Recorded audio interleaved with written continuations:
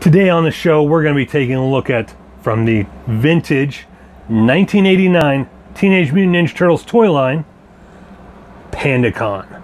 Stay tuned, my friends. Hey guys, welcome back to Comicgeddon TV, the only place on YouTube where all geek culture collides. If you're new to the channel, don't forget to hit that subscribe button so you don't miss out on future videos. From Playmates Teenage Mutant Ninja Turtles 1990 series toy line, we have Panda Khan.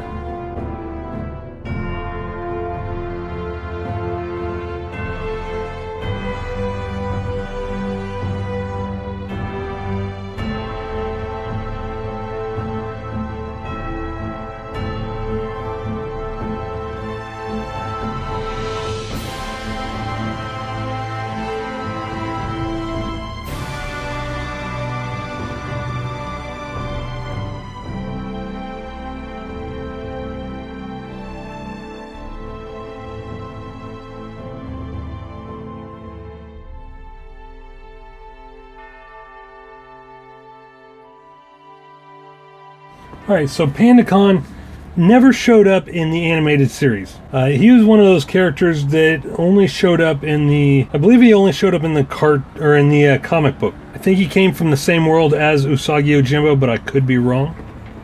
But I always liked this figure. Just a really cool design. Again, I really like the samurai uh, Teenage Mutant Ninja Turtle figures. Uh, I just really like the the design of all their armor it just it looks really amazing. Really like it. Of course, one of the first things other than the weapons to get lost were usually the shoulder and thigh pads.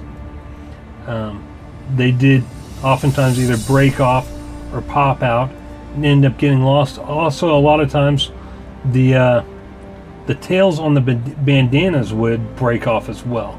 The paint on this guy isn't too bad. Uh, I'm not sure if that spot on his nose is from where or if he was designed like that to make it look like a shiny nose. I can't remember. It's been a long time. I found this guy at Primary Colors Retro Relics in Lincoln, Illinois. Uh, same place I got my Sewer Samurai Leonardo Panda Khan was always one of my favorite Ninja Turtles toys growing up, uh, and I saw him complete in a baggie with his accessories, so I went ahead and bought him. Uh, Mick over there is great. He prices things out great, fantastically. He couldn't be making more money off them, but he just loves loves dealing with collectors.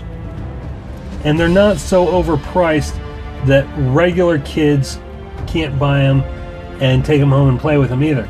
Um, they're actually priced pretty close to what their original price value was uh, way back in the 90s and late 80s. As you can see, very bright blue on his armor, gold chainmail, uh, green pads on the side of his armor. Then he's got the green pants with blue pads, uh, red gauntlets, and shin guards. Very nice figure. Now let's go ahead and take a look at Panda Khan's weapons. First things first is his battle axe,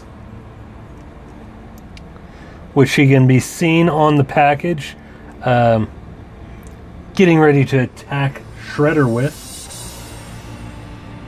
Very nice.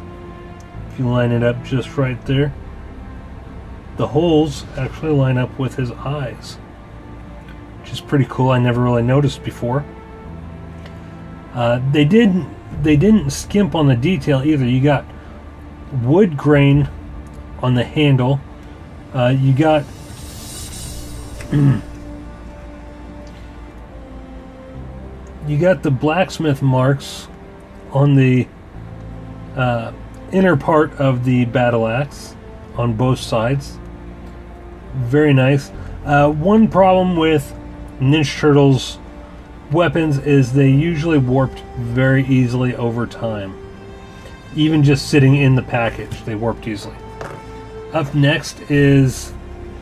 Uh, I can't remember what exactly this is called. Uh, I always thought it was kind of cool. Got kind of a knuckle guard there, which can be used to defend against blade attacks as well, or cut opponents with. Then you got this blade here with a hook on the end. Very nice. Again, they did not skimp on the detail. You got the cloth wrapped around the handle there. Very nice. Then here you've got the sword. Kind of generic looking. Um, I can't remember if this is the same style sword as Leonardo's or not. I think his was a little bit straighter, uh, but I could be wrong. And then you got the cloth around the handle, and you can see where it was disconnected from the uh, the little thing that they came attached to. They they usually came attached together, something kind of like this on a piece of plastic. Held them together, and these fit in his hands pretty decently.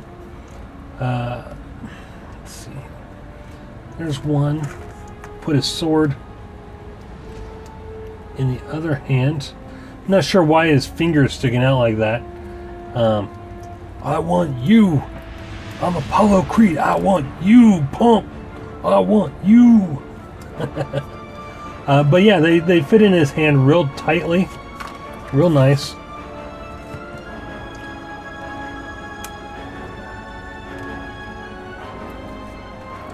Even this one, it's pretty tight. Uh, not bad. Uh, I just wish he would have came with something to be able to put his sword into or one of his other weapons into since you know he can't hold all three at once I hate just leaving one lying around you know that's how it gets lost